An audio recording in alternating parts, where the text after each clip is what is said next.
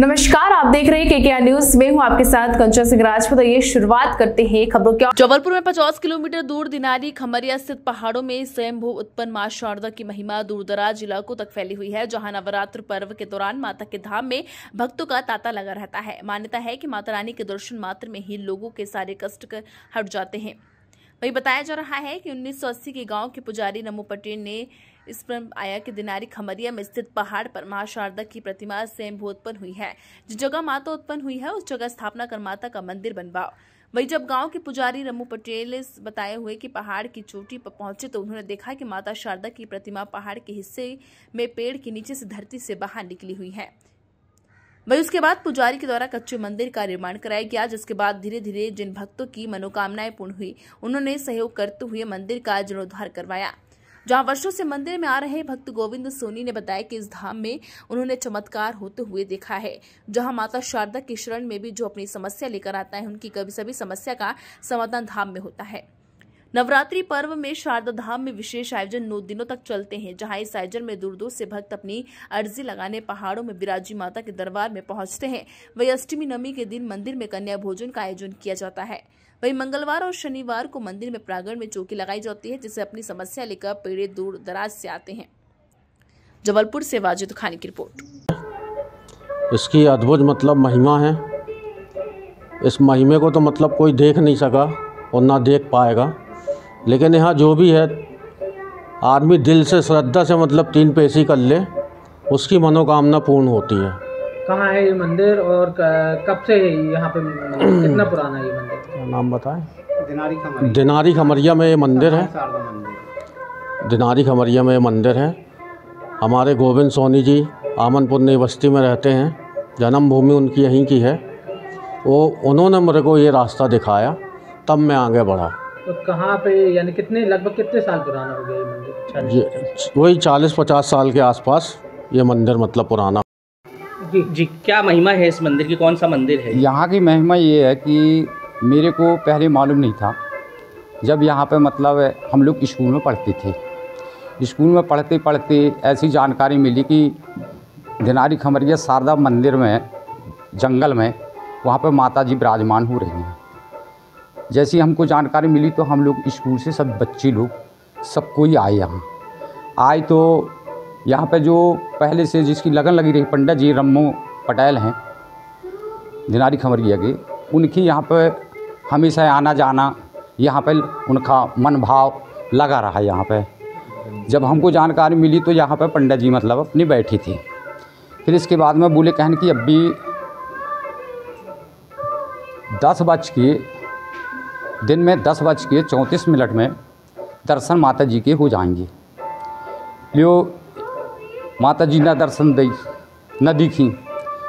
तो पंडित जी ने जो रमू पटेल ने अपनी जीप काट के और उनने चढ़ा दिया बलिदान कर दिया। दर्शन इसके बाद में माता जी के दर्शन हुए। माता जी के जब दर्शन हुए तो लियो गाँव बस्ती पूरी मतलब हज़ारों गाँव की जनता सब टूट गई मतलब यहाँ पे अच्छी पूजा मामता चढ़ोतरी सब कुछ होने लगी। यो होते होते एक बाहरी बाबा आया, जैसा भी मतलब है, वो यहाँ पे कर दिया हो संत को, जो पूजा करने वाले को। जो इतने में उनका माइंड ख़राब हो गया। माइंड ख़राब हो गया, वो फिर आखिरी में यहाँ की पूजा पत्र ये सब करना मतलब छोड़ दिए। छोड़ने के बाद में कुछ गाँव बस्ती की लगन लगाए रहे, पुराण उराण भी होती रहे मतलब जितने भी भावना मतलब लग गई।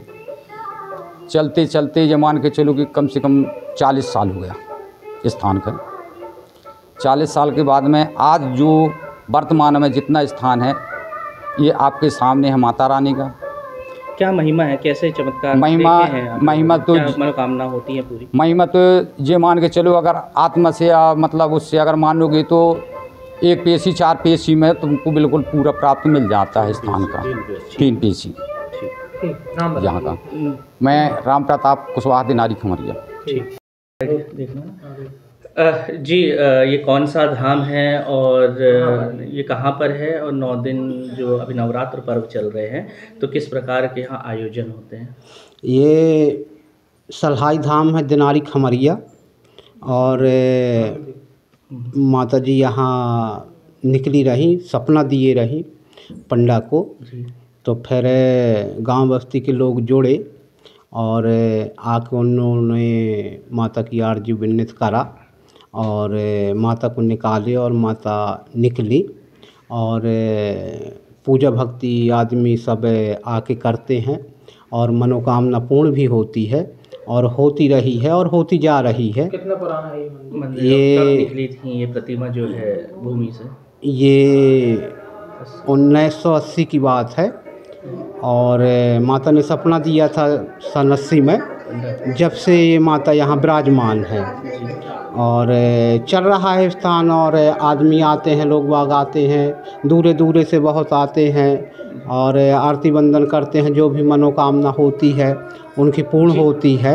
जी पंडित जी हमने ये भी सुना है कि पूरा ये जंगल लगा हुआ है पहाड़ पे है तो यहाँ पे जो दर्शन करने के लिए जो यहाँ के जानवर हैं वो भी आते हैं ये भी हाँ जानवर आते हैं और जो चीतरा होते हैं खरगोश होते हैं और हिरन होती है और भी जो लड़ैया होते हैं, सुंगर होते हैं तो ये सब आते हैं यहाँ। और आप आकर देखना है आपको तो आप सुबह आइए या फिर दोपहर के, मान लो जैसे एक बजता है, जब यहाँ कोई नहीं रहता, जब आते हैं तो आपको मिलेंगे और जब बारिश होती है, घास जमाती है, जब और अधिक मिलते हैं।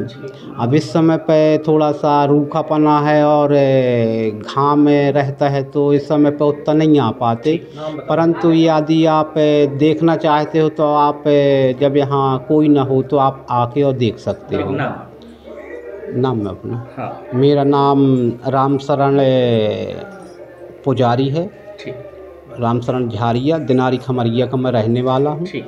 और